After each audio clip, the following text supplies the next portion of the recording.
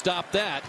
Playing it back to Palat. Pass behind him, and McDonagh couldn't get there in time. Busting up the middle. Now it's Verhaeghe shooting. Saved by Lagacé. In behind, they jam it in. Looked like the, the Lightning definitely were going to get uh, a penalty here. Luostarinen with the headman pass, and Carter Verhaeghe had knifed his way in.